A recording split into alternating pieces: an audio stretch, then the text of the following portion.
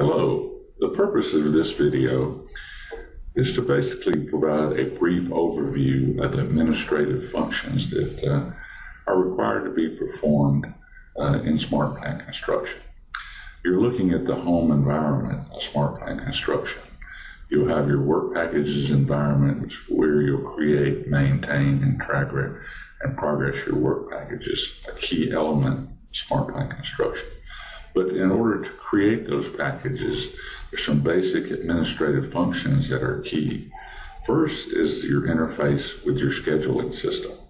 Here I brought up Primavera to show you a typical uh, level three uh, construction work schedule that you would have in Primavera.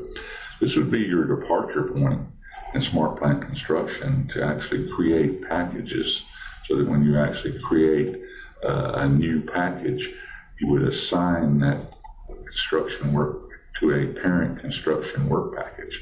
And this is loaded in from your Primavera schedule. So there's a key administrative function uh, in SmartPlant Construction to import your project configuration data. And this includes not only your schedule information, uh, such as your CWPs uh, from your schedule, but also your contracts, uh, the contractors associated with those contracts, CWPs uh, from your Primavera schedule, an association of those to the particular contract and area they belong to. So a key administrative function uh, as a departure point for getting your data in, creating uh, new work packages and assigning those to their parent construction work package. Another key interface from an administrative point of view uh, is the capability to retrieve your design data. Uh, you can see here you have a models environment where you have models from various design systems such as PDS or Smart 3D or PDMS or, or uh, other formats. Uh, and you also have drawings uh, that are brought in. Some will be intelligent drawings, others may be dumb drawings such as PDF drawings, AutoCAD drawings, MicroStation drawings, etc. So you need to be able to retrieve those into SmartPlant Construction and to know when you what you've retrieved, when you retrieve it, and the status of those retrievals. So here we can choose to filter by models or by drawings or or even by non-modeled items such as component lists like cable trays, etc. And you'll be able to query those and see the models you've retrieved, when you've retrieved them, what revision and version you've retrieved, and have those in SmartPlant Construction for models uh, and for drawings uh, also. Uh, to enable you to keep track of what you retrieved and to serve those up uh, to the user.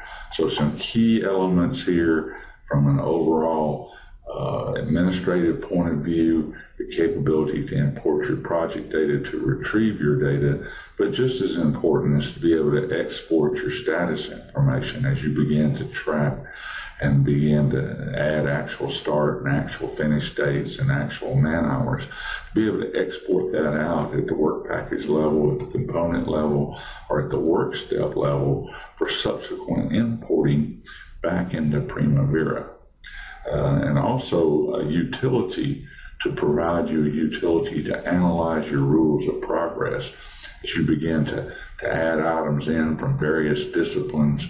Uh, you'll have rate tables associated with that, and you've got an administrative utility here that allow you to analyze that uh, rules of progress and rates tables to see that you've got a high integrity of data and to be able to identify issues uh, that may be associated with your rules of progress, such as missing rates for certain sizes, etc., and to be able to change that information and to be able to queue the updates for that real time so that if you've got dynamic uh, changing conditions in the field you need to change your rates uh, based on whatever weather, uh, for instance, or height considerations, etc you can make those changes real time and queue those up and refresh those and how those effectively uh, reflected uh, in your work packages in terms of your planned man hours on your components.